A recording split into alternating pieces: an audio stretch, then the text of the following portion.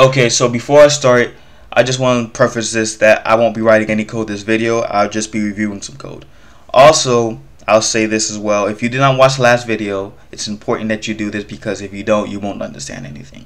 So go ahead, pause pause this right here, and go back to the last video, watch it, and then come right back.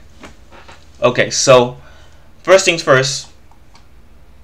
Also, don't forget to leave a thumbs up and leave a comment if you have any questions.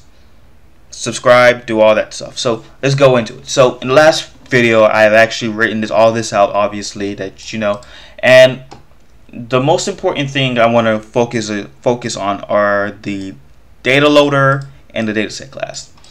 So we know that I can actually retrieve these two values, which is the input and the target. Now this is all great if my dataset's real simple and I only need to get an input and a target. These one these two values. That's all I need. So the problem is where my data set becomes very complex or more complex where I have multiple things that I need. Now, when I go into this code and I look at this torch.data.dataset class, I know that what it's using to retrieve the values that I need. So we can actually go here and it's using this example class. And I know this because I looked through the code and you can look through it yourself. Uh, it's, it's right here go there into the GitHub repo and you'll find it, right? So I go into this class and I see, okay, well, this data set's using this struct example, and the struct example is just basically returning two tensors. And, and, and that's fine and all, but what if I have multiple values?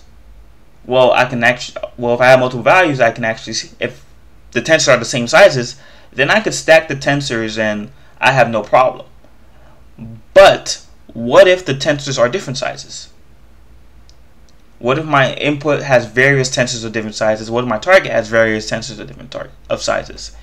Then that becomes a problem where I can't use this class anymore. So what did I do? I had to get rid of this class, restructure it, and basically rewrite everything that's in it.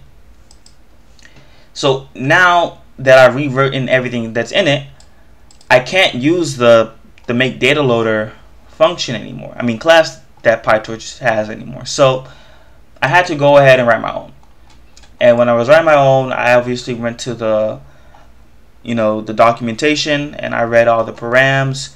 I figured out which params were you know of importance to me that I needed and I added those in. So I'll show you that right now. One second.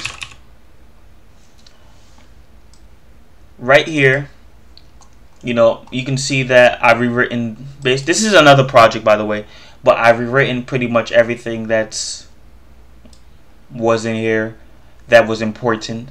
And then I went and, you know, wrote my own data loader. So it took, in, I have those params right here. You can see it right here as well in the constructor. Uh, then I made my own operator. This operator is responsible for iterating through the data set. That's all it does. It iterates through the data set and it allows me to get multiple values back.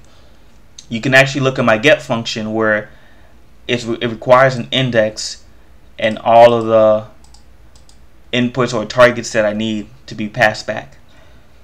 So that's what I did there. I wrote my own data loader and I wrote my own um, data set function to for me to work with this I guess, this data set. Uh, we can go through the main loop where, you know, I have set all my parameters and all that stuff, my transformations, my pre-processing, all that stuff, right? So right here you can see where I initialized the data set and also where I passed it through the data loader. And you can see right here this is how I iterate through it. So I pass in this mini batch, which is basically a tuple of all the things that I need from it. And then from there, I can grab each value that I need. Uh, let's go into the constructor. I initialize the values. Uh, I'm indexing the values I need. I'm shuffling. I'm get, then I'm gathering the those values at that indexes. Um, basically putting everything together right here and then I send those things back and then I clear everything that I don't need. Uh, you can go through the code yourself. It's it's not that hard. If you see any you know holes or things you want to improve on, then you can go ahead and make a pull request.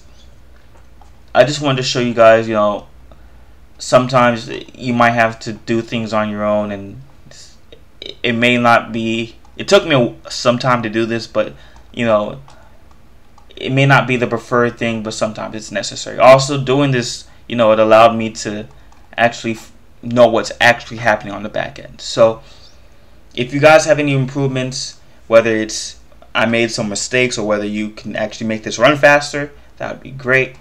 Uh, but that's all. I just wanted to show you guys. You know, if you if you have a custom custom data set and it's very complex, then you know sometimes it might be your best bet to make your own data set and data loader function class and iterate through it like that.